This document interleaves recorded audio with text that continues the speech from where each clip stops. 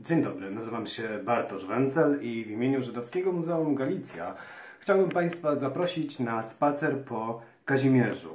Na spacer rzecz jasna wirtualny, bo wciąż mamy borowe powietrze, bo wciąż nie możemy spotkać się twarzą w twarz. Spacer po Kazimierzu będzie spacerem wirtualnym, będzie spacerem opartym o fotografie. Fotografie, które zostały wykonane przez twórców wystawy Ślady Pamięci, wystawy stałej w Żydowskim Muzeum Galicja. E, Część zdjęć będzie mojego autorstwa oraz część zdjęć archiwalnych. E, Posłużymy się również e, narzędziami, którymi już posługiwaliśmy się w trakcie poprzedniego wirtualnego spaceru, czyli spaceru po Płaszowie, chcąc pokazać Państwu, że to, co widzimy, to obok czego przechodzimy, idąc ulicami Kazimierza, jest śladem przeszłości, śladem e, tego, jak Kazimierz wyglądał w dawnych wiekach. Ale o tym później. O tym później, ponieważ dzisiaj e, skupimy się na historii Kazimierza, na historii ludności żydowskiej, która mieszkała na Kazimierzu właśnie od kiedy. Ludność żydowska w Krakowie mieszkała od samego początku Krakowa. Tak naprawdę z dużą dozą prawdopodobieństwa możemy powiedzieć, że Żydzi w Krakowie mieszkali od chwili lokacji tego miasta, czyli od 1257 roku. Gdzie mieszkali? Tutaj też jesteśmy w miarę tego pewni. Mieszkali w miejscu, w którym dziś znajduje się tak zwana dzielnica uniwersytecka, czyli w miejscu, gdzie jest Kolegium Majus, w miejscu, gdzie jest Kolegium Novum. Tam miały znajdować się dwie synagogi, miała znajdować się Mykwa, czyli budynek łaźni rytualnej. Tam miało być największe skupisko żydowskich domów. Jaka to była społeczność? Hmm. Z punktu widzenia Europy była to normalna społeczność, to znaczy była to społeczność, pośród której mieszkały jednostki wybitne i wybitne jednostki bogate, ale też możemy domniemywać, że pośród tej społeczności mieszkały osoby biedniejsze, osoby mniej zamożne. W jakich warunkach ta społeczność mieszkała? Znowu, porównując do innych miast w warunkach znośnych, aczkolwiek musimy mieć w pamięci fakt, że te warunki nie były znowu aż tak bardzo przyjazne. Oczywiście uważa się, że Polska była krajem tolerancyjnym, że Polska była krajem bez stosów, natomiast mm, to nie do końca jest zgodne z rzeczywistością. Nawet jeżeli e, popatrzymy na historię Krakowa, historię średniowiecznego Krakowa, to niestety nie obyło się w tym mieście bez antyżydowskich tumultów, bez pogromów. Ten największy miał miejsce na początku wieku XV, e, kiedy to tłuszcza, oczywiście niejako sprowokowana plotką o mordzie rytualnym, o mordzie, który którego ofiarą padały dziesiątki tysięcy najprawdopodobniej istnień ludzkich w całej Europie, o plotce, która głosiła i zakładała, że Żydzi potrzebują chrześcijańskiej krwi, a dokładniej krwi chrześcijańskiego dziecka do wypieku macy, czyli niekwaszonego chleba na święto Pesach. Ta plotka powodowała zazwyczaj E, pogromy antyżydowskie, no i niestety śmierć, tak jak wspomniałem, wielu tysięcy osób. W Krakowie doszło do podobnej sytuacji na początku XV wieku. Tłuszcza, tak jak wspomniałem, e, niejako sprowokowana rozpuszczeniem tej plotki, e, ruszyła na dzielnicę żydowską. No i niestety doszło do, doszło do pogromu. Więc te warunki, wracając do warunków, w jakich żyła ta społeczność, nie były idealne. Mało tego, z punktu widzenia ekonomicznego, E, społeczność żydowska ścierała się niemal na każdym kroku ze społecznością chrześcijańską, co też powodowało e, wiele niesnasek i powiedzmy wprost konfliktów. Mało tego, Żydzi, mimo że z punktu widzenia prawnego byli otoczeni opieką królewską, ponieważ jak w innych państwach i w innych regionach Europy, E, posiadali specjalny status, specjalne jako prawo, które tłumaczy się dzisiaj w sposób e, prosty jako słudzy skarbu, czyli zyskali tacy, taki status słudzy skarbu królewskiego, to mimo wszystko w takim codziennym życiu ten status nie chronił ich przed konsekwencjami konfliktu z ludnością chrześcijańską, a te konsekwencje, znowu wrócimy do Krakowa, mogły oznaczać konieczność wyprowadzenia się z miejsc, w których do tej pory mieszkali. Taka konieczność spotkała ludność żydowską mm, w połowie XV wieku, kiedy to na zasadzie, no co prawda umowy, ale była to umowa niejako podpisana pod przymusem, społeczność żydowska musiała opuścić dzielnicę przed, przez siebie dotychczas zamieszkiwaną i przenieść się w rejon dzisiejszego placu Szczepańskiego. Nie był to długi czas, kiedy mieszkali właśnie w tym miejscu, w, w miejscu, gdzie dzisiaj znajduje się plac Szczepański, bo to pod koniec XV wieku zostali zmuszeni niemal wszyscy Żydzi do opuszczenia Krakowa. Historycy wspierają się do dziś czy to przeniesienie, przeprowadzenie, czy też wypędzenie było przeniesieniem, przeprowadzeniem, czy też wypędzeniem. Jest kilka teorii, natomiast e, konsekwencją e, tego działania był fakt, że Żydzi z Krakowa musieli się wynieść. I tylko i wyłącznie jednostkowe przypadki na zasadzie jednostkowego pozwolenia mogły w Krakowie pozostać, mogły w Krakowie mieszkać. Żydzi wynieśli się do Kazimierza, do Kazimierza, który został założony w 1335 roku. Został założony przez Kazimierza Wielkiego i został założony jako miasto, które miało wspomagać Kraków w rozwoju handlu, w rozwoju ekonomii. I tam też Żydzi mieli się od tej pory osiedlać i tam też tylko mogli mieszkać. Co znajdowało się w Kazimierzu przed przybyciem Żydów? Czy w ogóle znajdowały się tam jakieś e, społeczności żydowskie? Czy mieszkali tam jacyś Żydzi? Najprawdopodobniej tak. Natomiast my tak do końca nie mamy e, zbyt dużo informacji na temat tych społeczności. Nie wiemy, jaka to była społeczność, nie wiemy, jak liczna to była społeczność, czy była społecznością zorganizowaną. Wiemy, że najprawdopodobniej posiadała dom modlitwy. Niemniej w momencie, kiedy Żydzi krakowscy zostali wypędzeni, przeniesieni, tudzież sami przeprowadzili się e, do Kazimierza, e, to, co istniało na tym, e, w tym miejscu, niejako zostało przez gminę krakowską przejęte i od tego momentu stało się częścią gminy krakowskiej i gminy kazimierskiej, bo ta społeczność tak siebie nazywała. Początkowo to miejsce, w którym Żydzi mogli mieszkać, ograniczało się tylko i wyłącznie do ulicy Szerokiej. E, natomiast w miarę rozwoju tej społeczności, zarówno rozwoju wewnętrznego, rozwoju demograficznego, jak i w miarę upływu lat i e, uświadomieniem sobie przez społeczność Żydów europejskich, że Kraków i Kazimierz jest doskonałym miejscem do zamieszkania, coraz więcej Żydów przybywało i na ten teren. I jeśli przybywali, mogli osiedlać się, tak jak wspomniałem, tylko i wyłącznie w Kazimierzu. Stąd też ten początkowy obszar, gdzie Żydzi mogli mieszkać, stał się niewystarczający i został poszerzony staraniem gminy żydowskiej, władz gminy żydowskiej na zasadzie porozumienia z władzami miasta Kazimierza. Tak naprawdę to poszerzenie następowało kilkukrotnie. I e, ostatnie z nich, ostatnie z, tego, z tych poszerzeń miało miejsce na początku wieku XVII e, i tym samym granice dzielnicy żydowskiej, granice miasta żydowskiego niejako zahaczały o Plac Nowy, o ulicę, dzisiejszą ulicę Józefa, ulicę Miodową, no i niejako kończyły się ulicą Szeroką. Na tym obszarze kwitło, rozkwitało E, no ale też w cudzysłowie zjeżdżało ekonomicznie to życie żydowskie, bo to życie żydowskie było nierozerwalnie związane mm, z życiem e, krakowskim, z życiem Krakowa i tym samym e, z życiem, jakie toczyło się w Rzeczpospolitej Polskiej. Bo e, trudno tutaj mówić o jakimś odrębnym życiu ekonomicznym czy odrębnym życiu społecznym. To, co działo się z państwem polskim, bezpośrednio wpływało też na społeczności, jakie zamieszkiwały e, ten kraj. I w związku z tym, o ile do powiedzmy lat 40.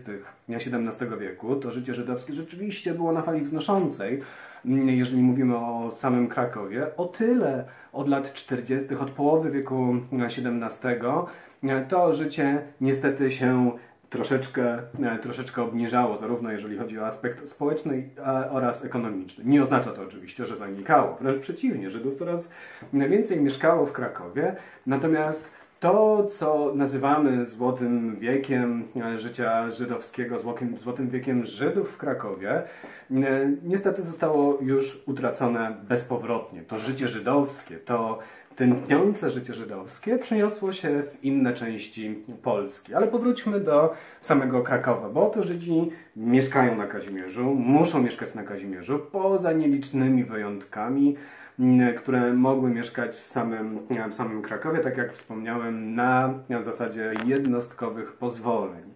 Ta sytuacja trwała do XIX wieku, do wieku, który zmienił wszystko, do wieku, który zmienił całą społeczność żydowską, do wieku, który spowodował narodzenie się, tak naprawdę możemy powiedzieć, nowoczesnego, społeczno, nowoczesnego społeczeństwa, tak naprawdę nowoczesnych społeczności żydowskich. Do wieku XIX, który na nasz użytek rozpoczniemy troszeczkę wcześniej, bo ten wiek XIX musimy rozpocząć mniej więcej w latach 70. XVIII wieku, a skończymy ten wiek XIX na wybuchu I wojny światowej. I oto w, w czasie tych stu kilkudziesięciu lat społeczności żydowskie zupełnie się zmieniły. Ten początek narodził się, tak jak powiedziałem, rozpoczął się w latach 70. XIX wieku, bo oto wtedy, jeszcze na istniejących rubieżach I Rzeczpospolitej, dochodzi do pierwszej rewolucji, do rewolucji, którą moglibyśmy dzisiaj nazwać rewolucją tradycjonalistyczną, jednocześnie taką rewolucją ruchów mistycznych, bo oto Izrael ben Eliezer, który nazywany jest Besztem, czyli Baal Szemtowem, nakreśla ramy nowego ruchu mistycznego. Ruchu, do którego może przystępować każdy, ruchu, do którego przystępują ludzie chcący sławić Boga poprzez modlitwę e, śpiewem, modlitwę tańcem. To jest coś, co dotychczas nie występowało, przynajmniej na szeroką skalę pośród Żydów aszkenazyjskich. Ten mistycyzm żydowski, on miał w gruncie rzeczy w przeważającej mierze takie nuty elitarne, czyli tylko i wyłącznie wybrana grupa mogła e, w cudzysłowie uprawiać mistycyzm, e, jednocześnie nuty ascetyczne. To, czyli ten egalitaryzm i ta ekstatyczność powodowały, że ten ruch mistyczny zupełnie się zmienił, ale jednocześnie hasydyzm, ten nowoczesny hasydyzm, bo pozwolę sobie na dygresję, sam hasydyzm, samych hasydyzmów w historii było kilka. Ten, te hasydyzmy one pojawiają się no, na, przestrzeni wieków e, powielokroć i one są cały czas ruchami mistycznymi, ale tak jak wcześniej wspomniałem, w przeważającej mierze ruchami astetycznymi, ruchami bardzo elitarnymi. Tutaj mamy ten egalitaryzm i tutaj mamy ten nowoczesny, nowoczesny hasydyzm. I to, ten, ten nowoczesny hasydyzm jednocześnie zaczął być ruchem bardzo tradycjonalistycznym, to znaczy mającym na celu zachowanie tradycji i tradycyjnego judaizmu. Po początkowych niesnastkach z judaizmem rabinicznym, niesnaskach też, e, to tak rzecz oględnie ujmując, bo to tak naprawdę była wojna pomiędzy tym nowym ruchem e, hasyckim a judaizmem rabinicznym, doszło do ugody pomiędzy tymi dwoma ruchami, bo to mm, na horyzoncie pojawił się wspólny wróg w postaci drugiej rewolucji. Drugiej rewolucji, którą też możemy nazwać rewolucją modernistyczną, która miała na celu zmodernizować społeczności, mm, które żyły w Europie, społeczności żydowskie rzecz jasna, jednocześnie zmodernizować sam judaizm, zdeformować go, uczynić go bardziej kompatybilnym z nowoczesnymi czasami te dwie rewolucje przeorały wszystkie społeczności żydowskie mieszkające, prawie wszystkie społeczności mieszka e, żydowskie mieszkające w Europie. Jak to się ma do Krakowa, jak to się ma do Kazimierza? Ma się to e, w ten sposób, że w XIX wieku oczywiście to życie żydowskie i życie Żydów zamieszkujących teren Kazimierza, e, też było związane oczywiście z wypadkami na arenie międzynarodowej. I te wypadki, jak Państwo dobrze wiedzą, doprowadziły do zniknięcia Polski z map Europy. Tym samym Kraków i Kazimierz koniec końców stały się miastem początkowo zarządzanym przez Austriaków, później stały się częścią wolnego miasta Krakowa, by wreszcie znowu bezpośrednio dostać się pod wpływy i pod rządy austriackie. I Austriacy i te e, zmiany na arenie międzynarodowej doprowadziły do e, również zmian e, na samym Kazimierzu, czy w samym Kazimierzu, a w zasadzie na samym Kazimierzu, bo to Austriacy doprowadzili do połączenia się Krakowa z Kazimierzem, do przyłączenia Kazimierza do Krakowa. Tym samym możemy już używać sformułowania na Kazimierzu. Bo oto na początku XIX wieku e, te ramy, które określały, gdzie Żydzi mogą mieszkać, e, zostały e, niejako zmienione przez Austriaków. Austriacy otworzyli furtkę, dzięki której przynajmniej część, mała część, ale część członków społeczności żydowskiej mogła opuścić dotychczas zamieszkiwany Kazimierz, mogła przenieść się na tak zwaną chrześcijańską część e, tego, tej dzielnicy lub na Stare Miasto. Jaka to była część? To była część, która musiała spełnić kilka warunków. Oczywiście tym pierwszym warunkiem był cenzus majątkowy, czyli ta, te osoby, które e, chciały się przenieść poza dotychczas zamieszkiwaną e, część Kazimierza, musiały posiadać odpowiednią ilość gotówki oraz musiały wykazywać chęć do no właśnie, do porzucenia tych starych zwyczajów, do e, zreformowania swojego życia, swojego, e, swojego sposobu, w jaki się dotychczas, dotychczas modlili, bo to mniej więcej też to oznaczało. Czyli do stania się bardziej reformowanymi niekoniecznie, bardziej zasymilowanymi e, członkami już społeczności e, krakowskiej. Ile osób było zainteresowanych e, tego rodzaju działaniem?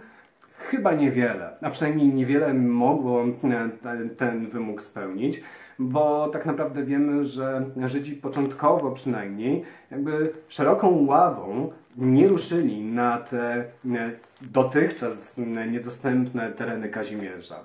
Natomiast to była furtka, która otworzyła się o wiele szerzej w połowie XIX wieku, kiedy to monarchia austriacka stała się monarchią konstytucyjną, a konstytucja zakładała, że wszyscy stają się równi wobec prawa. Nieważne, czy są Żydami, czy są chrześcijanami, czy pochodzą z tej części monarchii, czy z innej części monarchii, wszyscy mają równe prawa, wszyscy mają te same obowiązki. I tym samym e, Żydzi mogli osiedlać się gdziekolwiek chcieli. Jeżeli mieli wystarczająco dużo pieniędzy, mogli zakupić kamienicę, mieszkanie, mogli wynająć jakieś lokum w każdej części, w każdej części miasta. I ci, którzy zechcieli, ci, którzy postanowili opuścić Kazimierz, opuścili to miejsce, zabierając ze sobą wszystkie swoje ruchomości, jak i też zabrali ze, zabierali ze sobą całe swoje życie, życie społeczne i życie religijne. I to jest niezwykle ważna rzecz, ponieważ to życie religijne od połowy XIX wieku zaczęło przenosić się wraz z Żydami, którzy opuszczali Kazimierz e, lub dotychczas zamieszkiwaną część Kazimierza w inne części miasta i tym samym różnego rodzaju instytucje żydowskie, różnego rodzaju społeczne, różnego rodzaju stowarzyszenia, różnego rodzaju domy modlitwy zaczęły powstawać w różnych częściach miasta, nie tylko na Kazimierzu, a przynajmniej nie tylko na, w tej części Kazimierza, o której dotychczas mówiłem, czyli te synagogi zaczęły powstawać przy Placu Wolnica, zaczęły powstawać przy ulicy Mostowej, zaczęły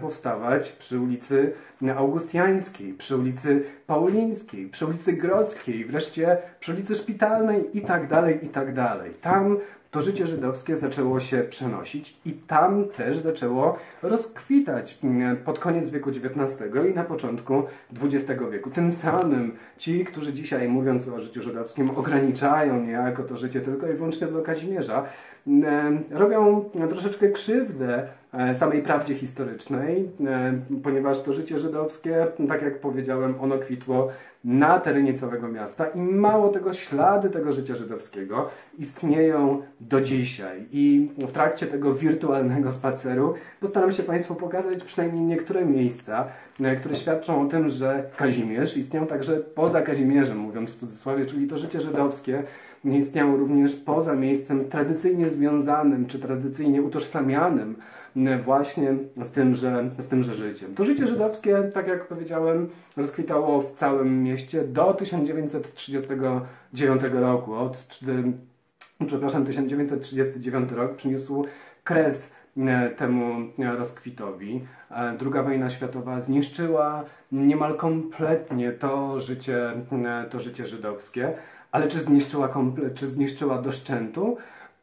No właśnie, po II wojnie światowej to życie żydowskie zaczęło się odradzać. Żydzi, którzy przetrwali II wojnę światową, e, czy to ukrywając się poza miastem w różnego rodzaju kryjówkach, czy to e, zaczęli powracać ze Związku Radzieckiego, czy też zaczęli wychodzić z ukryć przygotowanych, tudzież wspieranych przez przez ludność nieżydowską, czy też wreszcie ci, którzy przetrwali II wojnę światową w obozach pracy czy obozach koncentracyjnych, zaczęli powracać. Zaczęli powracać do miast, e, do wsi, do mniejszych miejscowości. W większości z nich nie znaleźli możliwości do dalszego życia, dlatego też zaczęli przenosić się do większych ośrodków miejskich, gdzie najszybciej powstawały instytucje, które były w stanie im pomóc w tych pierwszych, najtrudniejszych miesiącach z ich punktu widzenia. I tym samym zaczęła się odtwarzać gmina żydowska w Krakowie. Gmina żydowska, która musiała, i zarówno gmina, jak i w ogóle cała społeczność żydowska, która musiała się mierzyć z wieloma, z wieloma przeciwnościami, zarówno natury finansowej, społecznej, politycznej, jak i natury z którą wydawało się, że nie będzie musiała się mierzyć, czyli po prostu z powojennym antysemityzmem. To życie żydowskie powojenne, ono oczywiście było nacechowane wieloma trudnościami, ale istniało.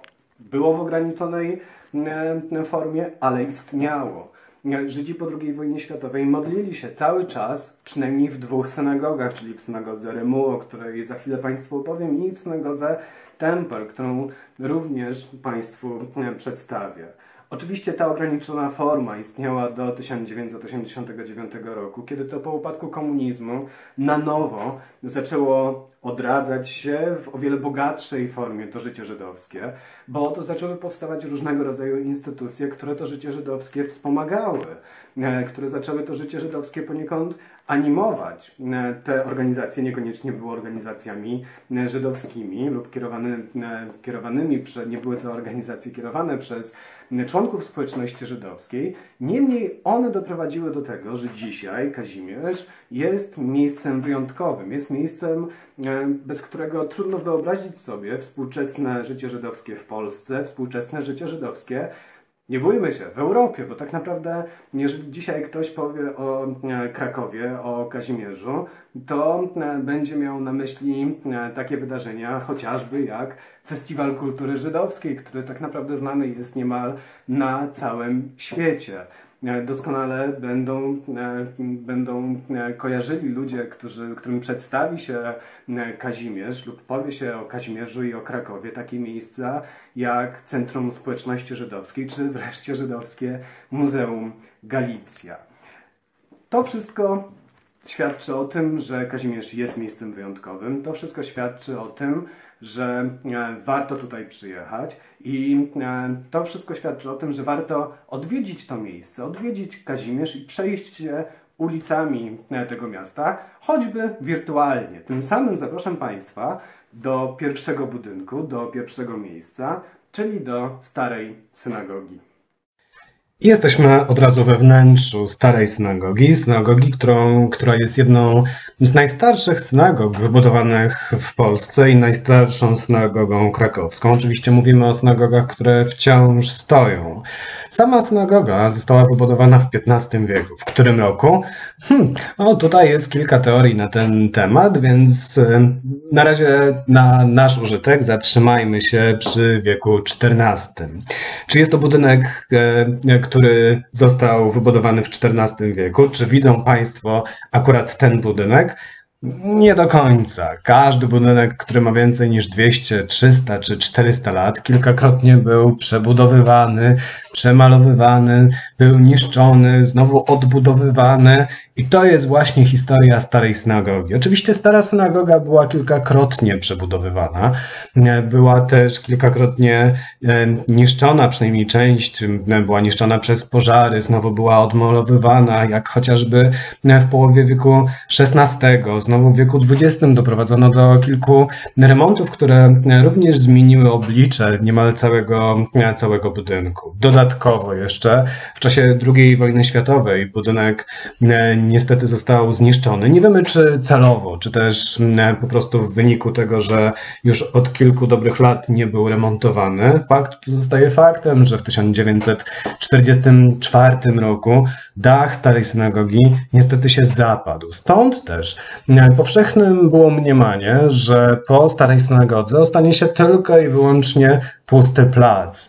Niemniej, w wyniku działań Bolesława Drobnera, który pochodził z krakowskiej rodziny Drobnerów, z rodziny Drobnerów, która była znana, która była ceniona, której, która e, była jedną z bardziej prominentnych rodzin, on to, Bolesław Drobner, który zaangażował się w ruch socjalistyczny po II wojnie światowej, w ruch komunistyczny i stał się również jednym z bardziej prominentnych działaczy komunistycznych w Polsce i dzięki temu E, już w ramach dygresji e, stał się pierwszym powojennym e, prezydentem Wrocławia. Jego starania między innymi doprowadziły do tego, że starą synagogę postanowiono odbudować odbudować, wyremontować i urządzić w jej wnętrzu muzeum judaistyczne. Judaiki, które można zwiedzić w tymże muzeum, pochodzą z różnych części Polski, nie tylko z Krakowa, bo my myśląc o II wojnie światowej, rzecz jasna myślimy o ofiarach ludzkich, bo one są niezwykle ważne. Natomiast II wojna światowa przyniosła również niebywałe spustoszenie e, pośród różnego rodzaju artefaktów, w tym judaików, w tym rzeczy, które były rzeczami codziennego użytku, również rzeczami użytku powiedzmy rytualnego, czyli takiego, które e, miało miejsce w synagogach lub innych domach modlitwy, to w czasie II wojny światowej zostało w dużej mierze zniszczone lub zrabowane. I dlatego też po II wojnie światowej, kiedy urządzano to muzeum, tak trudno było zgromadzić e, dużo artefaktów, które pochodziłyby tylko i wyłącznie z jednego miasta. Tym samym ta kolekcja judaików Starej Synagogi jest kolekcją niezwykle szeroką, obejmującą, obejmującą rzeczy pochodzące z różnych części, e, z różnych części Polski. I tak działa Stara Synagoga. Stara Synagoga, którą możemy nazwać pierwszym powojenną instytucją, która ma na celu edukację, edukację o religii, edukację o kulturze, o kulturze żydowskiej. Czy Stara Synagoga jest czynną synagogą? Nie. Oczywiście Stara Synagoga była główną synagogą społeczności żydowskiej. Co to oznacza, że była główną synagogą? To oznacza, że e, organizowano tutaj główne obchody przypadające na różne święta, w tym chociażby na święto, e, cotygodniowe święto Szabat. I tutaj rzeczywiście gromadziło się wielu Żydów, nie wszyscy rzecz jasna, ale gromadziło się wielu Żydów, żeby obchodzić to, to święto. Tutaj, jeżeli dochodziło do jakiegoś ważnego wydarzenia, społeczność się gromadziła, żeby to wydarzenie przedyskutować. Oczywiście, jeżeli mówimy o społeczności, o starej synagodze i o gromadzeniu się, w dużej mierze była to społeczność z tych wyższych warstw, a nie z tych, a nie z tych niższych, ale to było takie miejsce, które niejako gromadziło wokół społeczność żydowską mieszkającą w Kazimierzu.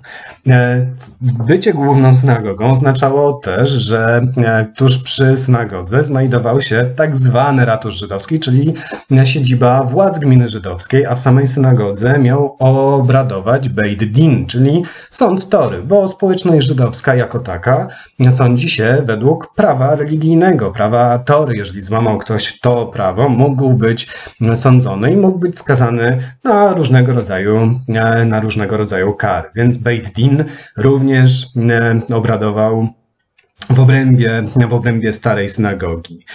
E, dzisiaj stara synagoga już nie jest synagogą czynną, w tym sensie, że nie spełnia swoich funkcji religijnych, chociaż warto pamiętać o tym, że w nie tak dalekiej przeszłości, bo w tamtym roku jedna ze społeczności żydowskich mieszkających w Krakowie i działających w Krakowie, społecznej Żydów reformowanych, niejako starała się przypomnieć tę dawną funkcję religijną, organizując w starej synagodze chociażby ślub, ślub żydowski. Natomiast to było oczywiście takim gestem symbolicznym, bo synagoga na co dzień funkcji rytualnych już nie spełnia.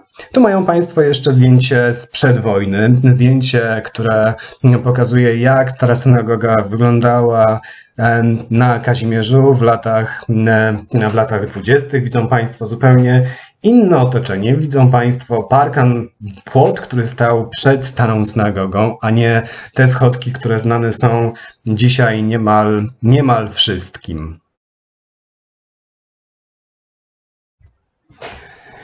Ale czy stara synagoga była najważniejszą? Czy jest najważniejszą synagogą? W ogóle, czy możemy używać takiej gradacji, która synagoga jest ważniejsza, która synagoga jest mniej ważna?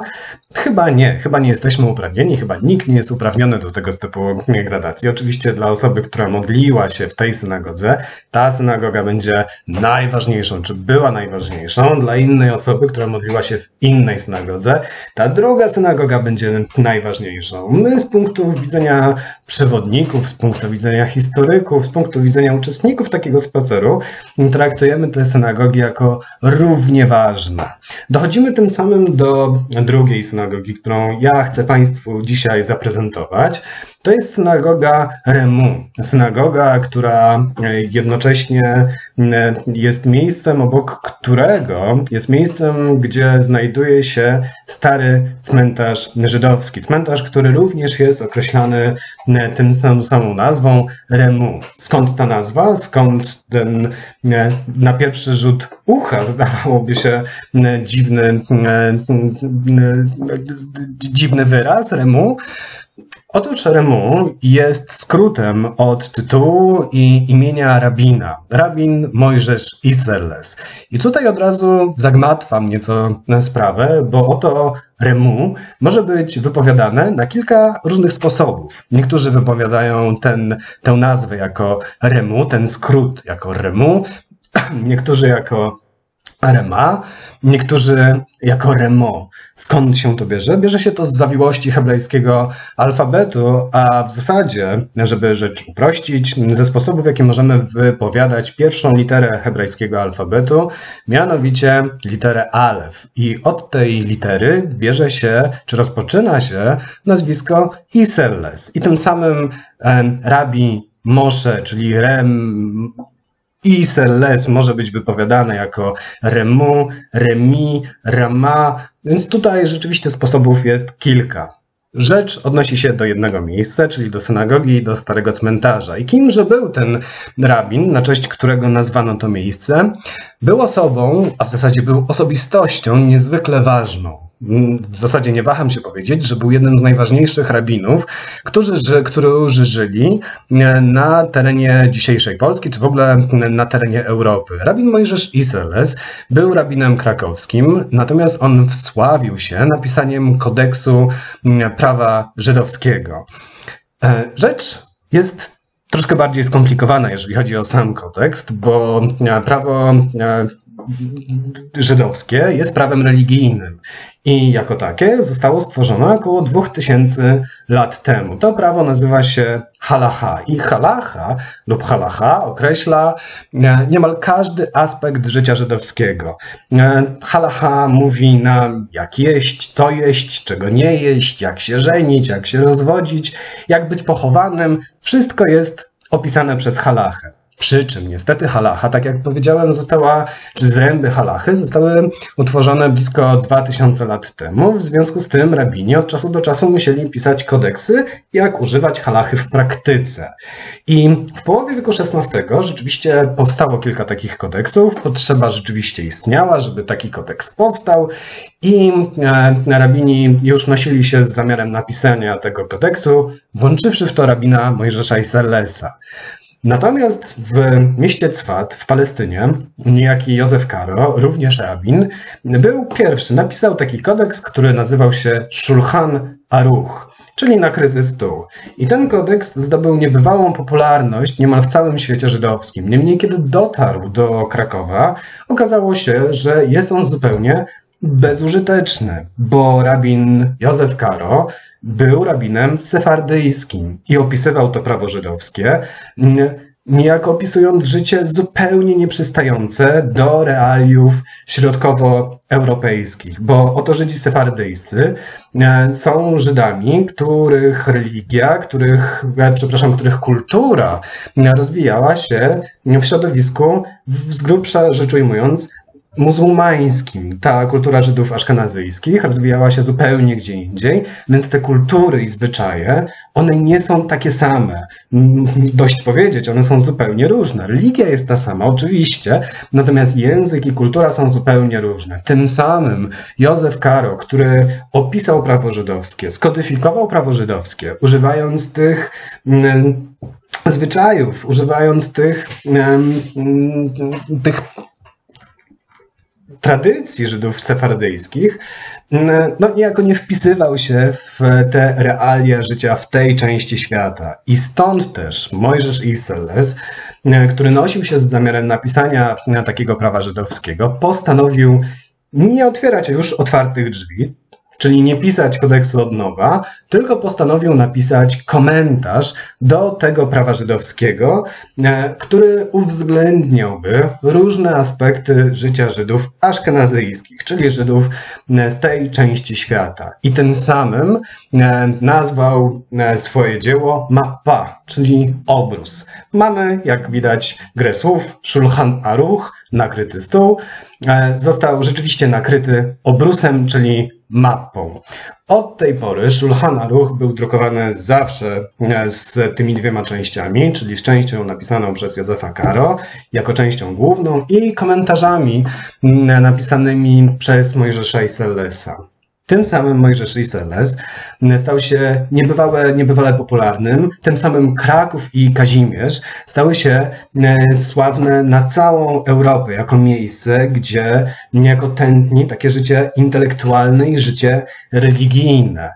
Tym samym Kraków dołączył, można powiedzieć, do głównych, do wiodących miast w, na tej mapie żydowskiej, ówczesnej żydowskiej mapie Europy i stworzył wraz z Pragą i co dzisiaj się, o czym dzisiaj się zapomina z Poznaniem, tak naprawdę trójkąt miast niezwykle, niezwykle ważnych dla rozwoju życia religijnego, życia żydowskiego.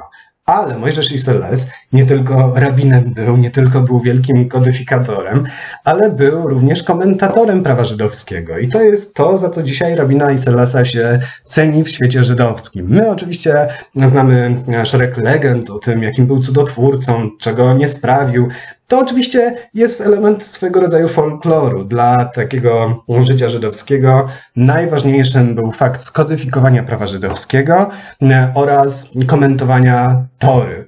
E, dość wspomnieć, że Mojżesz Iseles był również zainteresowany e, czymś, co no, my dzisiaj możemy nazwać astrologią, czyli no, to był człowiek wielu talentów.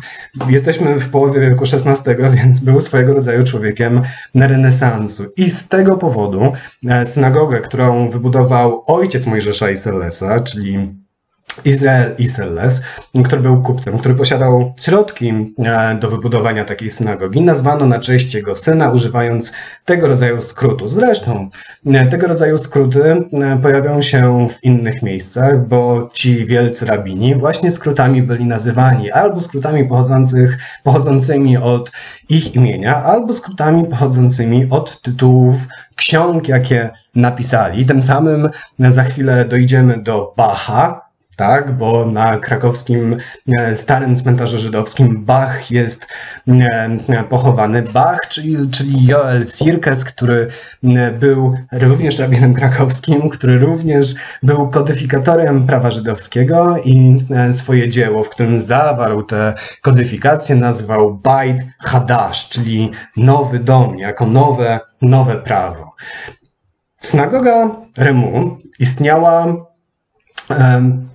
w niezmienionej formie przez kilkaset, przez kilkaset lat. Była czynną synagogą. Była synagogą, w której wciąż się modlono do 1939 roku. W 1939 roku e, synagogę oczywiście zamknięto, jak inne domy modlitwy w Krakowie i zamieniono na magazyn. Jak większość tych dużych domów modlitw, e, e, dużych domów modlitwy w tym mieście. Natomiast po II wojnie światowej społeczność żydowska, która powróciła do Krakowa, e, niejako zaczęła się na nowo modlić w tym miejscu i tym samym jest to synagoga, która spełnia te funkcje religijne najdłużej w całym, e, w całym mieście, jeśli nie w całej Polsce. Wspomniałem, że tuż obok synagogi znajduje się stary cmentarz żydowski. Jest to nekropolia używana e, przez Żydów krakowskich od wieku XV, przepraszam, od wieku XVI do wieku XIX.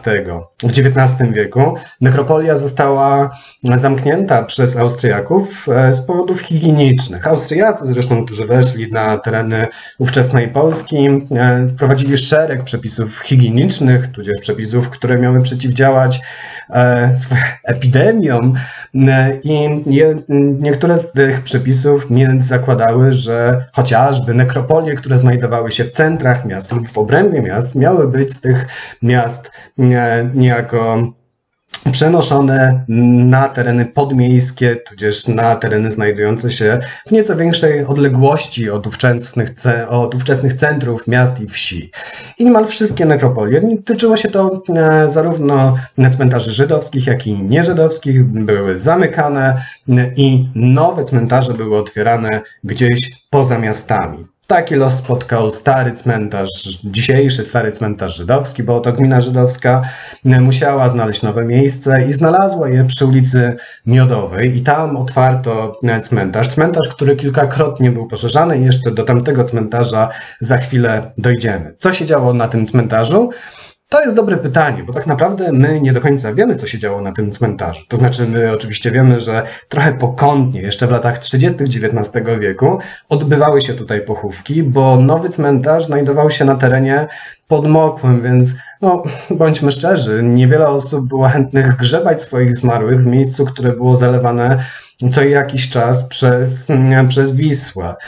Tym samym e, próbowano niejako wbrew przepisom chować zmarłych na miejscu, które było już do celów grzebalnych zamknięte. Natomiast też z drugiej strony możemy sobie wyobrazić sytuację, w której część rodzin po prostu chciała mieć pochowanych bliskich no, na miejscu, gdzie są pochowani wielcy rabini, tacy jak rabin Moshe Iseles, jak już wspomniany Bach, jak rabin, e, którego nagrobek widzą Państwo właśnie teraz, czyli Jontow Lipman Heller, który również zalicza się do grona tych wielkich, którzy utworzyli z Kazimierza centrum życia religijnego.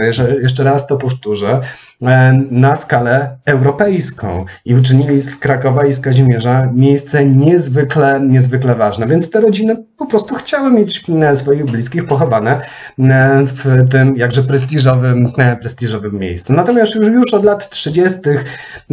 te pochówki rzeczywiście zaniknęły, czy też te pochówki zaczęły być urządzane tylko i wyłącznie na nowym cmentarzu przy ulicy Miodowej. I tym samym Cmentarz stał się tylko i wyłącznie miejscem, do którego przychodziło się, żeby odwiedzić albo groby swoich bliskich, albo groby, tak jak Państwo widzą, groby tych wielkich rabinów, czyli jak na tym obrazku, grób Mojżesza Isellesa. Grup Mojżesza Isellesa, który tak naprawdę posiada dwie macewy. To, co Państwo widzą teraz, jest macewą nieco nowszą. Macewa starsza jest niejako przyklejona z drugiej strony i tutaj widzą Państwo, e, jak przez jak dużą rzeszę e, ten, to miejsce jest odwiedzane. Świadczy o, ta, o tym liczba kamyków zostawionych przez odwiedzających, kamyków, które w tradycji żydowskiej są po prostu sposobem upamiętnienia zmarłych, sposobem, który ma się wywodzić według tradycji żydowskiej z mm, czasów antycznych, czyli z czasów, kiedy społeczności żydowskie zamieszkiwały na ziemi biblijnego Izraela, czy granice biblijnego Izraela, które, jak wiemy, są e, ziemiami dość piaszczystymi i każdy grób miał być oznaczany przez kamienie i każdy odwiedzający, żeby oznaczyć to ważne miejsce, miał zostawiać jeden kamyk. Ta tradycja miała przetrwać i również dzisiaj upamiętnia się zmarłych za pomocą tego rodzaju, tego rodzaju artefaktów, tego rodzaju rzeczy, tego rodzaju tradycji. Natomiast nie jest to oczywiście typowo żydowski zwyczaj, bo upamiętnienie w ten sposób nieznane ludzkości, ho, niemal od epoki brązu. Jeżeli przypatrzymy się różnym kulturom z różnych części świata, zobaczymy, że zostawianie kamieni na grobach zmarłych było tradycjami dość popularnymi. Dość wspomnieć, że tego rodzaju, tego rodzaju praktyki możemy spotkać, tak jak powiedziałem, w epoce brązu w różnych częściach Europy. E, czy w epoce wczesnego chrześcijaństwa, chociażby na Wyspach Brytyjskich, pielgrzymi również zostawiali na grobach świętych, czyli również ważnych osobistości, wyselekcjonowane białe, białe kamyki. Wręcz na, możemy to rozszerzyć i powiedzieć, że na Madagaskarze wierzono, że dusza ludzka po śmierci właśnie przechodzi w kamień, co też nadaje akurat temu obiektowi niezwykle ważnej, ważnej funkcji. Natomiast z punktu widzenia, wracając do tradycji żydowskiej, ma to zupełnie inne, zupełnie inne wytłumaczenie. Dodatkowym elementem, który świadczy o e, szacunku, jakim wciąż darzy się Mojżesza i Selesa, są te papierki e, powtykane w różne części siatki, zostawione w różnych miejscach pod kamykami. E, papierki, które nazywamy kwitlechami, które są prośbami kierowanymi do no właśnie, kierowanymi do Boga. No w żadnej mierze nikt nie kieruje swoich próśb do Mojżesza i Selesa. Byłoby to swojego rodzaju bałwochwalstwo. Mojżesz i Seles w tym rodzaju jest swojego rodzaju posłańcem, który te prośby zanosi, zanosi Bogu. O respekcie, jakim darzy się wciąż Mojżesza i Selesa, możemy mówić e, bez końca. Świadczy o tym i liczba odwiedzających, i też fragmenty inskrypcji samego, samego nagrobka. Natomiast widzą Państwo również zdjęcia sprzed II wojny światowej. Zdjęcia, które najprawdopodobniej pochodzą z Lag Beomer, ze święta żydowskiego. Lag Beomer, który jest również dniem, w którym miał umrzeć Mojżesz i Seles. Stąd to ten dzień jest dniem, w którym odwiedza się właśnie ten cmentarz i dniem, w którym do dzisiaj e, do Krakowa przybywają, e, przybywa wielu Żydów z całego, z całego świata, by właśnie odwiedzić ten grób. Dla kogo Mojżesz i Seles jest najważniejszy? Oczywiście dla społeczeństw bardzo e, tradycyjnych. To, co Państwo widzą, te osoby, które Państwo widzą, w przeważającej mierze to są właśnie przedstawiciele społeczności tradycyjnych bądź też ortodoksyjnych. Ja tutaj celowo robię takie rozgraniczenie, bo tradycja Ortodoksja oznacza zawsze tradycja, ale tradycja nie zawsze oznacza ortodoksję. Możemy się tak e, wysłowić. Nie wszyscy, e, nie wszyscy tradycyjni Żydzi są od razu e, ortodoksami. Tutaj to, to rozróżnienie jest dość, dość ważne. I widzą Państwo właśnie osoby modlące się przy różnych nagrobkach. To nie jest tylko i wyłącznie nagrobek Mojżesza i Selesa, bo oczywiście przy okazji pobytu w Krakowie, przy okazji pobytu na tym ważnym cmentarzu, te osoby się modliły w również w innych miejscach. Więc takie, takie funkcje spełniał i spełnia do dzisiaj cmentarz, cmentarz Remu.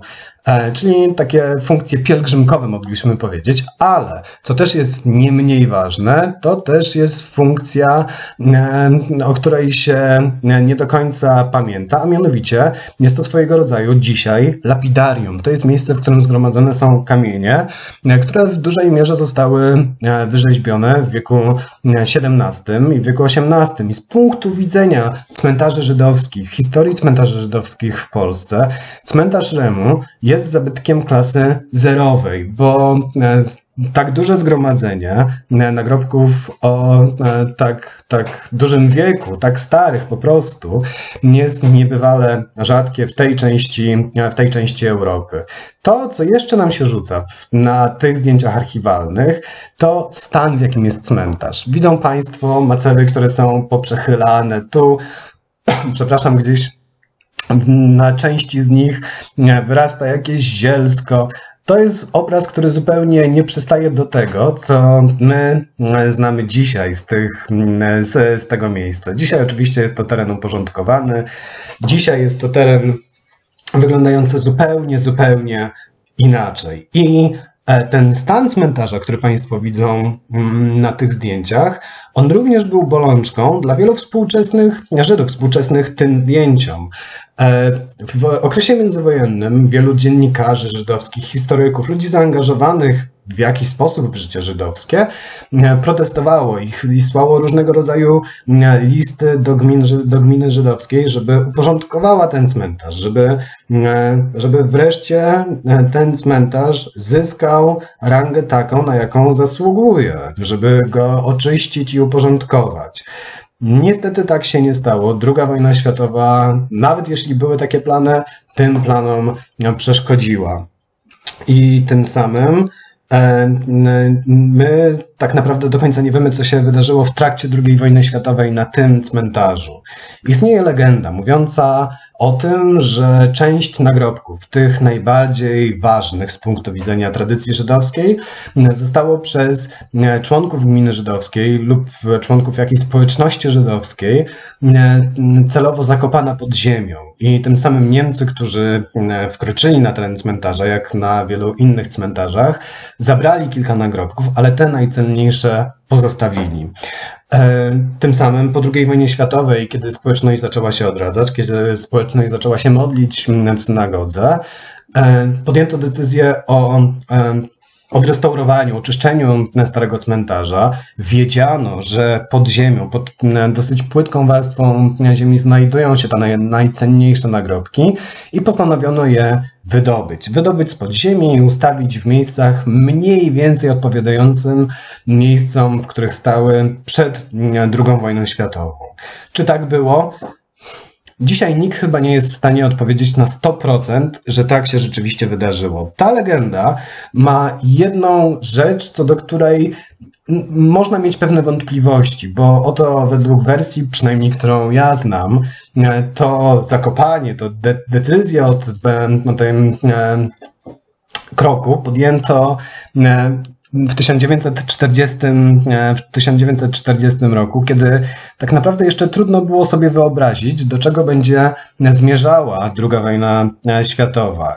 E, dalsza część tej historii, o której jeszcze Państwu nie wspomniałem, zakłada, że Niemcy zaczęli teren cmentarza traktować jako wysypisko śmieci. Tym samym wyrzucali E, cały materiał, który uważali za, za zbędny, za nieistotny, właśnie na teren cmentarza. No niestety w 1940 roku, a to zakłada większość wersji historii, których, o której wspominam, mało kto był w stanie przewidzieć, co wydarzy się w dalszej części wojny, czyli tę desakralizację cmentarzy i dewastację cmentarzy żydowskich przez nazistów i przez Niemców. Stąd trudno było zakładać, że Niemcy wkroczą i zabiorą te najcenniejsze macewy z tego, z tego cmentarza i też trudno było zakładać, że będą wiedzieli, jakich macew szukać.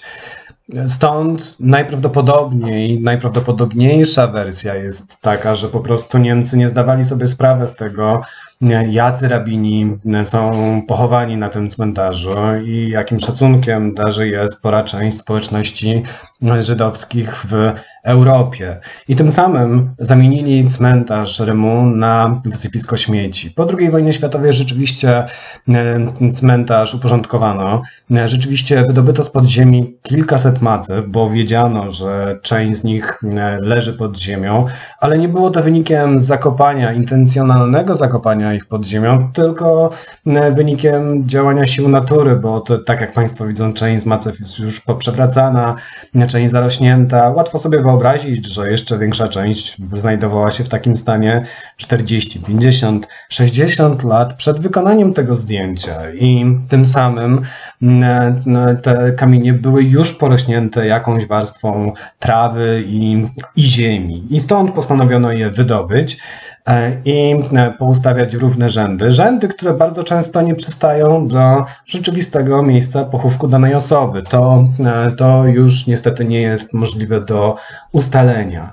Dlatego też dziś ten cmentarz jest cmentarzem, na którym jesteśmy w stanie wskazać kilkanaście, góra 20 macew, które stały w swoim miejscu przed drugą wojną, e, wojną światową. Ale widzą Państwo również e, miejsce, które przed wojną było niezwykle ważne. Widzą Państwo członków społeczności e, tradycyjnej. Widzą Państwo, jak, jakie tłumy przybywały tylko i wyłącznie, żeby się pomodlić w tym miejscu.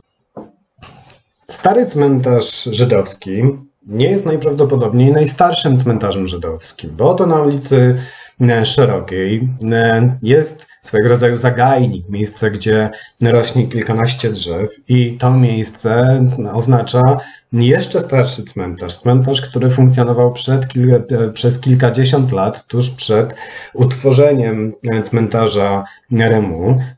Był to cmentarz tymczasowy, cmentarz, na którym, no, co do którego my też nie mamy zbyt wielu informacji. My wiemy, że w okresie międzywojennym jeden z historyków żydowskich, Ozjasz Maler, znalazł tam kilkanaście macew.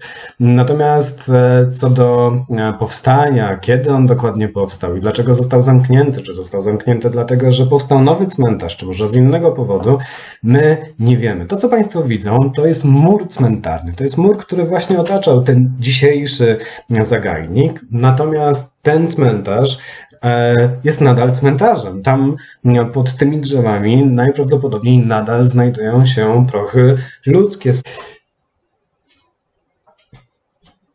Jednym z najbardziej rozpoznawalnych miejsc na Kazimierzu, poza ulicą Szeroką, czyli poza ulicą, na której znajduje się synagoga Stara, znajduje się synagoga Remu, znajdują się jeszcze inne miejsca ważne i ciekawe, jest podwórko. Podwórko, które jest chyba najbardziej obfotografowanym podwórkiem w całym Krakowie. Podwórko, w którym, z którym wiąże się e, szereg historii mniej lub bardziej e, prawdziwych. Podwórko, które ostatnio stało się siedzibą e, Galerii Fendlera, o której za chwilę też Państwu powiem. Podwórko, które nazywane jest albo typowo żydowskim podwórkiem, albo podwórkiem Schindlera albo podwórkiem Spielberga, bo rzeczywiście Spielberg w trakcie kręcenia listy Schindlera mm, postanowił użyć tego miejsca jako e, niejako tła do, do historii tutaj opowiedzianej, bo oczywiście muszą Państwo zdawać sobie sprawę z tego, że Spielberg postanowił przekształcić w cudzysłowie Kazimierz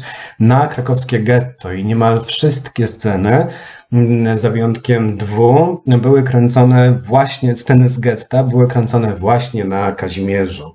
I tutaj, na tym e, podwórku były kręcone e, dwie ważne sceny. Sceny z początku likwidacji getta i scenę opisującą e, historię Hanki i Dany Dressner.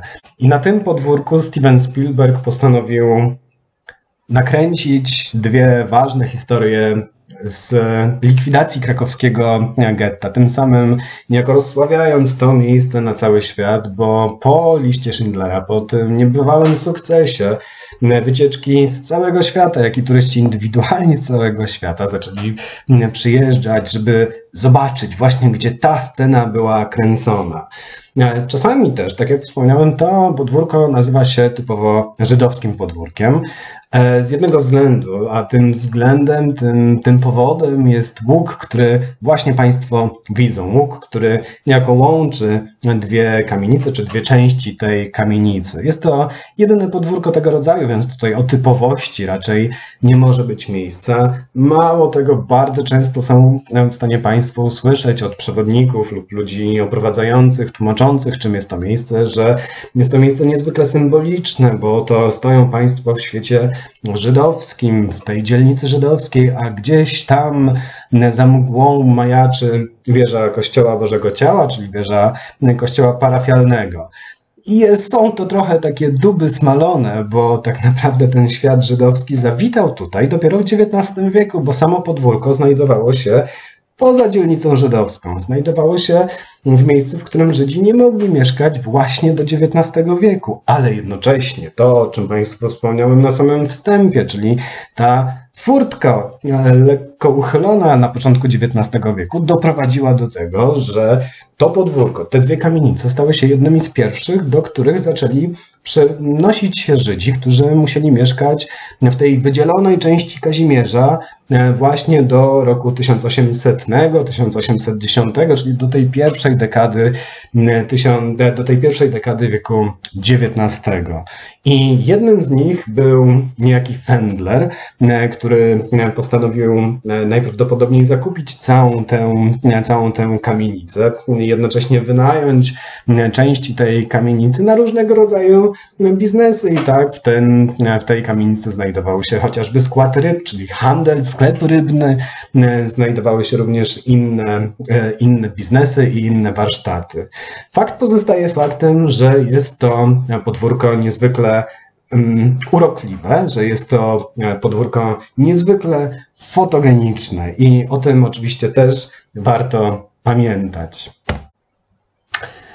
Wcześniej wspomniałem Państwu o nekropoliach krakowskich i oczywiście e, stary cmentarz żydowski jest jedną z najlepiej rozpoznanych nekropolii żydowskich w Krakowie, ale nie jedyną, bo wspomniałem Państwu, że od XIX wieku Żydzi musieli zacząć grzebać swoich zmarłych na nowym cmentarzu, e, który został założony przy ulicy Miodowej. Rzeczywiście była to główna nekropolia, jedyna nekropolia, by można, Żydów e, krakowskich do dwudziestolecia międzywojennego. Mało tego, w tym, na, przy tym cmentarzu postanowiono w pewnym momencie dodać wielką halę przedpogrzebową, której, której zdjęcie widzą Państwo właśnie przed sobą, którą, której zdjęcie również mogą Państwo zobaczyć na wystawie głównej w Żydowskim Muzeum Galicja. Na cmentarzu, na nowym cmentarzu przy ulicy Miodowej e, pochowani są ci, którzy stali się niezwykle sławnymi członkami tej społeczności właśnie w wieku XIX, jak chociażby Maurycy Gottlieb, który no, bądź co bądź z samym Krakowem wiele wspólnego nie miał, bo oczywiście sam pochodził z Drohobycza, natomiast jego życie zostało nierozerwalnie z tym miastem związane poprzez osobę Jana Matejki, z którym początkowo Gottlieb się wadził, ale którego ostatecznie Jan Matejko do Krakowa ponownie zaprosił e, po e, tułaczce po krajach europejskich.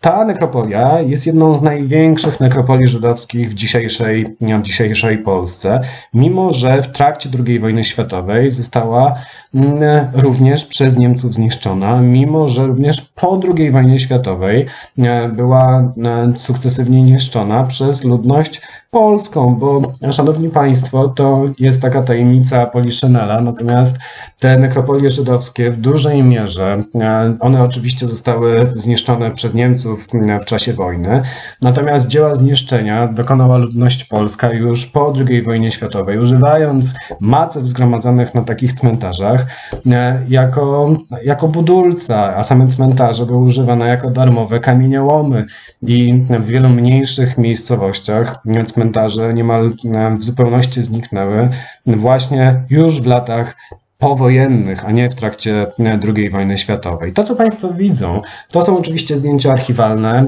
z cmentarza nowego. Widzą Państwo, jak te macewy są równiutko poustawiane. One są oczywiście poustawiane do, przodem do alejek, bo cmentarze żydowskie mogą być orientowane w różny sposób, w sensie macewy mogą być zwrócone w różny sposób, nie tylko na osi wschód-zachód, chociaż rzeczywiście w mniejszych miejscowościach tego rodzaju ustawienie przedawało, ale to ustawienie może być w stosunku do głównego wejścia, jakie wiodło na cmentarz i w stosunku do alejek. Wracając jednak na sam Kazimierz, E, i do tych największych synagog, które znajdują się na Kazimierzu, warto wspomnieć jeszcze przynajmniej o dwóch z nich. To jest o synagodze Kupa, e, której nazwa wiąże się z wyrażeniem Mikupat Hakehila, czyli wybudowana z finansów gminnych, bo tak, była to synagoga gminna. Ogólnie oczywiście możemy podzielić synagogi na synagogi gminne, czyli takie, które były finansowane e, z kasy oficjalnej gminy żydowskiej, tym samym niejako były synagogami publicznymi, a z drugiej strony synagogi prywatne, takie jak synagoga Remoczy, synagoga Izaaka, o której za chwilę. I synagoga e, Kupa, e, synagoga Kupa, przepraszam, to jest synagoga publiczna. Często też była nazywana synagogą szpitalników, bo tuż obok niej znajdował się Hegdesz, czyli coś w rodzaju szpitala, bardziej przytułka e, żydowskiego.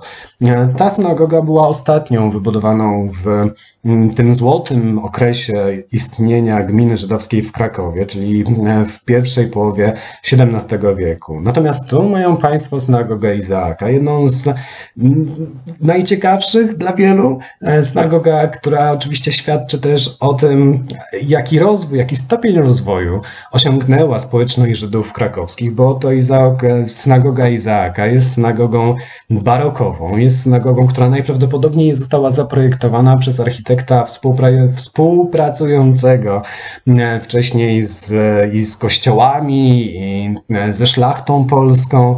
E, jest to synagoga e, niezwykle duża, okazała, jedną, jedna z większych, która istnieje to dzisiaj na Kazimierzu. To też jest synagoga XVII-wieczna. To jest synagoga, e, która funkcjonowała jako miejsce modlitwy do 1939 roku. Sama fundacja tego miejsca oczywiście nastąpiła za sprawą Izaaka Jakubowicza, który był jednym z bogatszych Żydów mieszkających w Krakowie na początku XVII, XVII wieku. Po II wojnie światowej synagoga nie powróciła do swoich dawnych funkcji, choć gmina żydowska starała się o nią, istniały różne plany w stosunku do niej, ponieważ e, starano się, przynajmniej jedna ze społeczności, społeczności katolicy, społeczności chrześcijańskich starała się o e, uzyskanie tego budynku do celów rytualnych. Koniec końców urządzono w tej synagodze warsztat konserwatora zabytków, później synagogę zamieniono na magazyn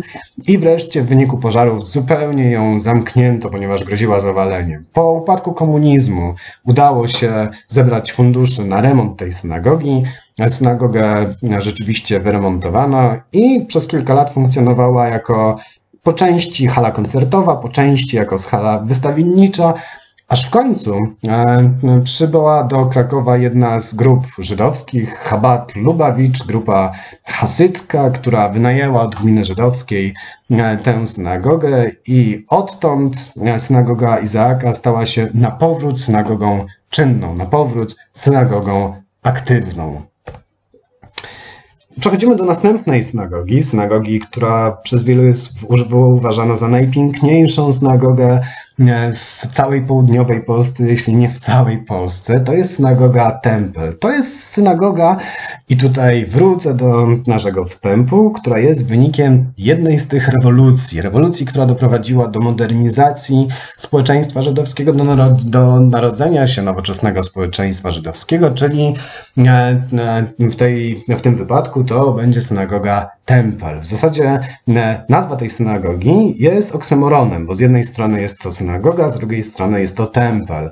E, tradycyjnie Żydzi nigdy nie nazywają swojej synagogi templem, bo synagoga jako taka jest domem zgromadzenia, e, bo Beit, Beit HaKneset to jest dosłowne tłumaczenie mm, przepraszam, synagoga jest dosłownym tłumaczeniem Bet HaKneset.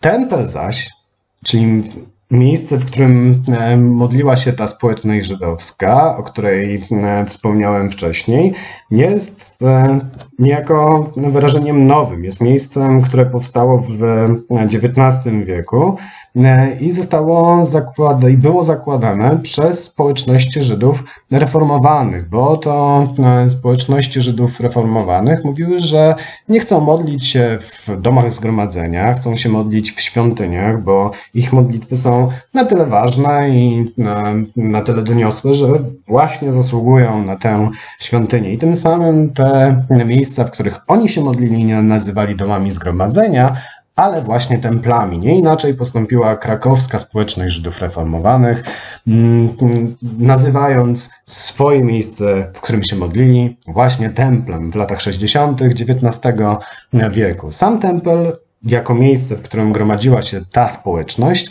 funkcjonował do 1939 roku.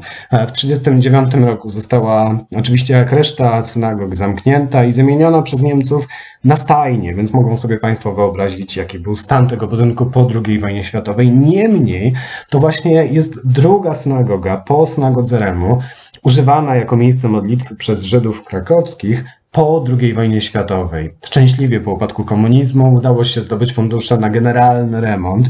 Remont, który trwał przez kilkanaście lat i wreszcie udało oddać się do użytku synagogę, która dzisiaj jest używana jako miejsce modlitwy, również jako miejsce modlitwy, bo oprócz koncertów, oprócz wystaw, które są w niej organizowane, również e, modlą się w niej Żydzi. Żydzi, którzy przyjeżdżają do Krakowa e, w żeby mm, zwiedzić różne miejsca. Tutaj mówię głównie o grupach żydowskich, dużych grupach żydowskich, e, które e, zmierzają do tego miasta. E, więc tak, w tym miejscu nadal się modlą, natomiast ta modlitwa jest w tym rycie bardziej ortodoksyjnym, a nie reformowanym, stąd nazwa tego miejsca już nie jest tylko i wyłącznie templem, ale dodana została, dodany został ten pierwszy człon, czyli również synagoga. Przemierzając place i ulice Kazimierza, możemy natknąć się na szereg pozostałości po e, tym życiu żydowskim w postaci e, jakichś napisów hebrajskich, ewentualnie Gwiazd Dawida. I jednym z takich e, jest budynek przy ulicy Józefa 42. To jest budynek, który e, określa się jako dom modlitwy Kovea i Tim Letora. E, czyli ci, którzy ustalają dom modlitwy, ewentualnie stowarzyszenie tych, którzy, e, ustal, tych, którzy ustalają czas studiowania tory. Stowarzyszeń tego rodzaju, stowarzyszeń religijnych w społecznościach żydowskich zamieszkujących Europę Środkową i Wschodnią było bardzo dużo. To były stowarzyszenia, które rzeczywiście były nakierowane tylko i wyłącznie na życie religijne, na studiowanie, bo tego rodzaju działania w społecznościach żydowskich darzy się niezwykle dużym szacunkiem. Stąd też e, te stowarzyszenia utrzymywały się głównie ze składek, e, które na nie nałożono i modliły się albo z innymi w publicznych synagogach, albo modliły się e, samodzielnie w swoich domach, e, w swoich domach modlitwy. I jeden z takich domów widzą Państwo właśnie na załączonym obrazku. Kazimierz przedwojenny to są osoby, to nie są tylko i wyłącznie miejsca, to są żywi ludzie, którzy tworzyli te społeczności i to warto wspomnieć, nie jedną społeczność, ale kilka społeczności.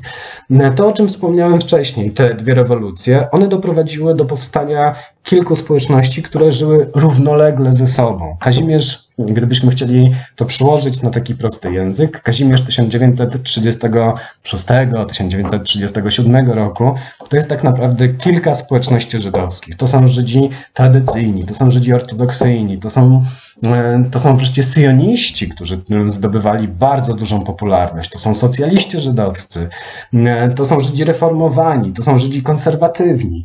Te społeczności wydawałoby się, że moglibyśmy wrzucić do jednego zbioru i określić ich Żydami krakowskimi, ale tak zrobić nie możemy. Ich życie było oddzielne, ich życie nie było e, życiem wspólnym. Te społeczności żyły, tak jak wspomniałem, równolegle względem siebie, ba, bardzo często się zwalczały i bardzo często ze sobą walczyły, bo to życie polityczne, one niejako zaczęło się e, nakładać na życie religijne i wojny syjonistów z tradycjonalistami, wojny socjalistów z syjonistami. To były rzeczy, które rozgrzewały do czerwoności wiele głów ówczesnego Krakowa i ówczesnego Kazimierza. Życie żydowskie, które zaczęło się przenosić wraz z Żydami, którzy opuszczali Kazimierz, e, zaczęło kwitnąć, tak jak wcześniej wspomniałem, również na terenie Starego Miasta. I wspomniałem, że ślady tego życia żydowskiego są widoczne do dzisiaj. W niektórych wypadkach tak, w niektórych wypadkach niestety już nie. I to jest dewastacja ostatnich e, lat, ostatnich miesięcy. Na wystawie głównej w Żydowskim Muzeum Galicja jest zdjęcie zrobione około 30 lat temu przez Chrisa Schwarza, czyli założyciela e, żydowskiego Muzeum Galicja. To zdjęcie jest zrobione przy ulicy Grodzkiej 28 do 30 i to zdjęcie po lewej stronie prezentuje wejście do synagogi Tignera. Sama synagoga została założona w dwudziestoleciu międzywojennym. Sam Tigner był kupcem, zresztą był dosyć bogatym kupcem, trudnił się handlem futer, zresztą swój sklep posiadał w tej samej kamienicy. To, co Państwo widzą po lewej stronie, to jest oficyna, sama kamienica, sam, przepraszam, sklep znajdował się przy ulicy Grodzkiej. Tigner był na tyle bogatym kupcem, że ufundował synagogę, synagogę, w której modlono się w rycie tradycyjnym. W związku z tym e, tutaj te wszystkie urządzenia, które znajdowały się wewnątrz, one mm, przypominały w gruncie rzeczy synagogi e, tradycyjne. Synagoga funkcjonowała do 1939 roku i potem tak naprawdę my do końca nie, nie wiemy, co się stało z wyposażeniem. Możemy do, oczywiście domniemywać, że mm, całe wyposażenie i mm, najcenniejsze artefakty z tej synagogi zostały po prostu zniszczone, ale to, co pozostało, to e, chociażby okucia i e, części kamieniarki. Pozostała również, ocalała tablica fundacyjna, która była zawieszona w tej synagodze. Obecnie jest dostępna e, w starej synagodze, w muzeum, o którym już Państwu wspomniałem. Zdjęcie zostało wykonane 30 lat temu i prezentuje stan opłakany, ale stan, na którym da się jeszcze coś zobaczyć. Zdjęcie, które widzą Państwo po prawej stronie, to jest zdjęcie zrobione 22 kwietnia 2020 roku przez Larysę Michalską, kierowniczkę działu edukacji Żydowskiego Muzeum Galicja, czyli zdjęcie tak naprawdę sprzed kilku dni. Widzą Państwo kompletną dewastację tego miejsca. W tym momencie już nikt nie jest w stanie nawet powiedzieć w najmniejszym stopniu, czym był ten, czym był ten budynek. E, ewentualnie na podstawie tego, co widać, czy był związany z jedną społecznością, czy być może był domem modlitwy. Zupełnie to, co się tam obecnie odbywa, możemy nazwać kompletną dewastacją. Tego rodzaju miejsc w całym Krakowie było kilkadziesiąt. My dzisiaj o Kazimierzu, czy o żydowskim życiu w Krakowie, Mówimy e, w kontekście siedmiu, ośmiu dużych synagog, które znajdowały się na samym Kazimierzu. Natomiast tych synagog, tych miejsc, w, którym Żydzi się, w których Żydzi się modlili, w całym Krakowie, tak jak wspomniałem, było kilkadziesiąt. Ślady przeszłości możemy dostrzec, udając się na spacer po Kazimierzu, na spacer po Starym Mieście, na spacer po innych częściach naszego miasta. E, tak jak powiedziałem, tych śladów jest o wiele więcej. Stąd też e, zachęcam Państwa do uczestnictwa w spacerach organizowanych przez Żydowskie Muzeum Galicja. Zachęcam Państwa do innych wydarzeń, e, które są przez nas organizowane, ponieważ tam można się dowiedzieć, gdzie można się udać, żeby te ślady zobaczyć, czy jakich narzędzi możemy użyć, żeby jeszcze więcej dowiedzieć się o żydowskiej przeszłości, teraźniejszości, a może nawet przyszłości w e, Krakowie. Natomiast dzisiaj e, Chciałbym Państwu pokazać jeszcze jedno narzędzie, narzędzie wirtualne, dzięki któremu mogą Państwo poznać historię e, Żydów w Krakowie, historię Żydów na Kazimierzu. Jest to narzędzie, które już część z Państwa zapewne zna, czyli ortofoto mapa. Nie jest to narzędzie idealne. Znowu, narzędzi idealnych mm, powinniśmy szukać, natomiast narzędzi idealnych jako takich raczej nie ma. Natomiast o wiele lepsze jest dostępne na stronie Małopolskiego Systemu Informacji Przestrzennej, na które można dostać się z, z poziomu oficjalnej strony Krakowa, kraków.pl poprzez zakładkę Odwiedź Kraków i tam e, w mapach historycznych, w mapach, przepraszam, miasta znajduje się zakładka Mapa Historyczna. Tam te mapy przepraszam, tamta zakładka zaprowadzi nas bezpośrednio do map historycznych, do map, które nałożone są właśnie na zdjęcia satelitarne. I dzięki e, narzędziom, które informatycy skonstruowali, jesteśmy w stanie dokładnie prześledzić, jak zmieniały się albo nie zmieniały się e, zabytki, ulice, granice samego miasta. Gorąco Państwa zachęcam do używania tamtego narzędzia. Ja dzisiaj z przyczyn technicznych nie jestem w stanie dokładnie Państwu pokazać, na czym tam ta rzecz polega, natomiast jestem w stanie pokazać tę ortofotomapę, którą już Państwo, tak jak wspomniałem, znają. I co widzimy na tej ortofotomapie? Tak, oczywiście jest to Kazimierz. Jest to miejsce, o którym dzisiaj e, już Państwo usłyszeli. I czy tutaj jesteśmy w stanie dostrzec cokolwiek, co naprowadzałoby nas na ślady przeszłości, na coś, co nawiązywałoby do tego, o czym mówiłem?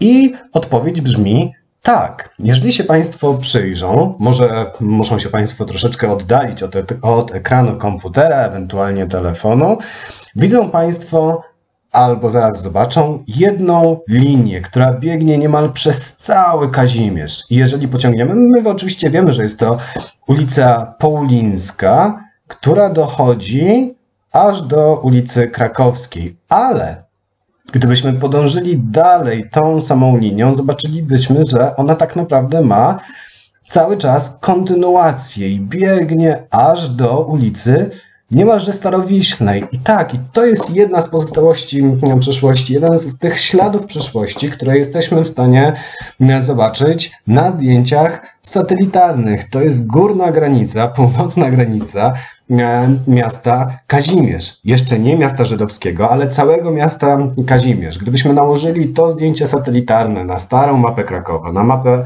mm, zwykłą 18, na której zaznaczone są jeszcze granice Kazimierza, które były oczywiście zaznaczone murami miejskimi, bo Kazimierz jako odrębne miasto takie mury posiadał, zobaczylibyśmy dokładnie, jak ta linia odzwierciedla przebieg murów miejskich. No dobrze, to w takim razie przynajmniej do dzisiaj na terenie przepraszam, na zdjęciu satelitarnym, jesteśmy w stanie rozpoznać przynajmniej północną granicę Kazimierza. Czy coś jeszcze?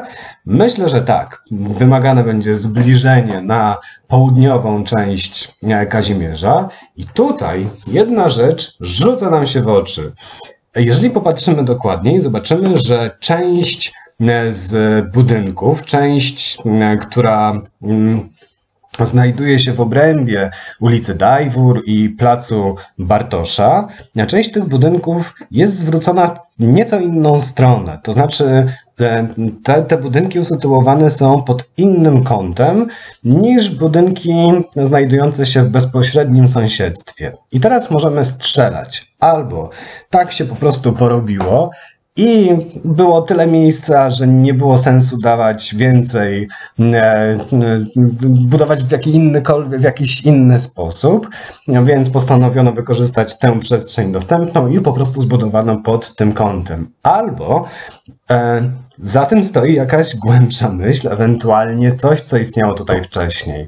I znowu, możemy posłużyć się mapami historycznymi i zobaczymy, że akurat te budynki odwzorowują niemal dokładnie przebieg południowej granicy dawnego miasta żydowskiego, czyli e, tego miejsca, e, w którym Żydzi musieli, musieli mieszkać od wieku XV, od końca wieku XV, aż po wiek XIX, bo to dzielnica żydowska, to tak zwane miasto żydowskie, ono było otoczone murem. Jeżeli Państwo przejdą się na plac Bartosza, no zobaczą Państwo pozostałość tego muru, a przynajmniej no, odwzorowanie tego muru, bo mur jako taki niestety kilka lat został rozebrany przy budowie nowego budynku, przy budowie e, apartamentowca, w którym znajduje się na poziomie zero restauracja. Natomiast e, architekci postanowili nawiązać do starej historii, do historii tego miejsca i postanowili e, niejako tę okładzinę kamienną